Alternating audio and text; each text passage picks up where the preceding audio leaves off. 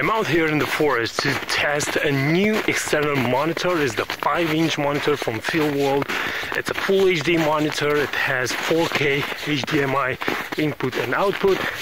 And I'm here to test it out to see what are the benefits of using such a monitor for photography or for filming.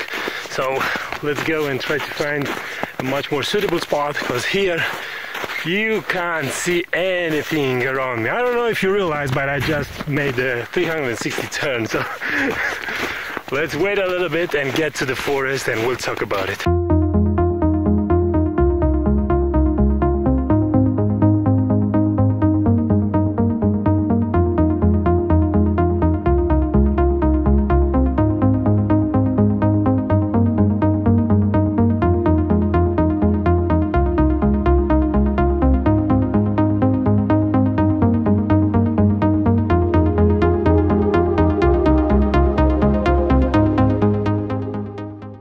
Talking about an external monitor for your DSLR. And first of all, why would be the reason to go and purchase such a uh, such an accessory?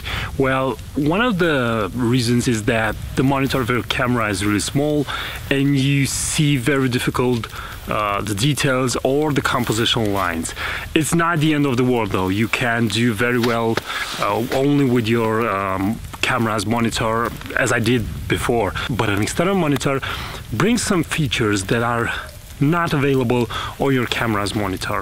And one of the best features that I will start this review with is false color. The ability to see false color is extremely useful, especially if you're photographing or filming people, because when you are pressing that button that shows you false colors, uh, the monitor will show you an image that looks odd, all sorts of colors on the um, on the display, but you will have uh, a grid to your right, and you will see what those means. Basically, zero is black, 100 is absolute white. And for example, if you're going to photograph or film people, you will want the skin tones to be in a light gray area. Now, this external monitor from Feelworld is a 5-inch monitor. It has full HD resolution. It has 4K input input and output uh, in the format of HDMI. The monitor came with a um, cable that goes from HDMI to micro HDMI.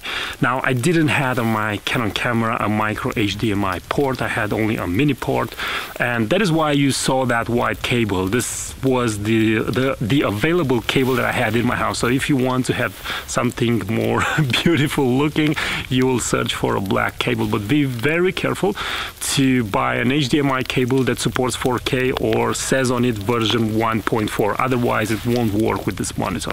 Now, uh, the monitor has a really good construction. Uh, I had the misfortune of dropping it when I took it uh, out of my backpack and nothing happened to it, so it works very well for now. I don't know how many drops it will take, but for now it's, it's really good. Uh, also snow fell on it from one of the trees and again nothing happened. The visibility uh, that um, you have when you're looking at uh, inside that monitor is really good and the hood shade is really useful for when there's uh, a lot of light into your surrounding. So it's a, it's a helpful feature.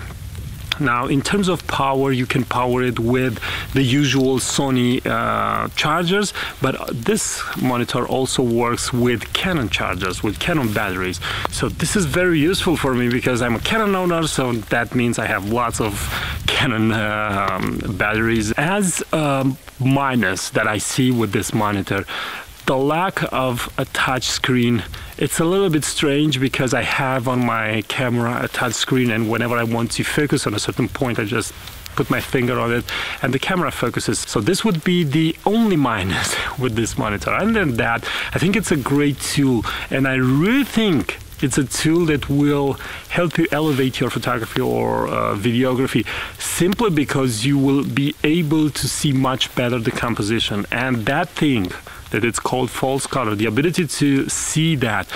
For example, when I'm here inside the forest, there may be some small areas that get overexposed, but maybe they are not that important to see. I don't know how much I'm gonna use it uh, in my photography. I don't know how often I'll be able to take it.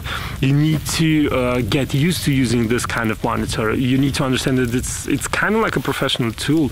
It, yes, it builds up on your camera. It adds gear to you, your backpack and to your camera but it also offers something back. Now, this monitor is available worldwide. You can order it from any country. You have links in the description of this video. I really hope you enjoy this small review and uh, just give me your feedback. Maybe you own this monitor, maybe you have other monitors. Just use the comment section below and don't forget to subscribe to this YouTube channel for more similar videos. Bye bye.